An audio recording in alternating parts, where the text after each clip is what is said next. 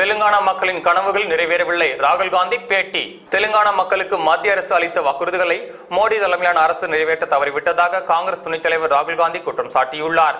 ஹைதராபாத் அடுத்த சங்கரரெட்டியில் நடைபெற்ற பொதுக்கூட்டத்தில் பேசிய அவர் தெலுங்கானா மக்களின் கனவுகள் நிறைவேறாமல் இருப்பதாக தெரிவித்துள்ளார்.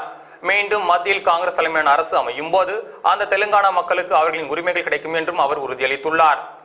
தெலுங்கானாவை ஆளும் தெலுங்கானா ராஷ்டிரிய அரசு நிர்வாக ரீதியாக தோல்வியடைந்து விட்டதாகவும் ராகுல் காந்தி விமர்சித்துள்ளார்.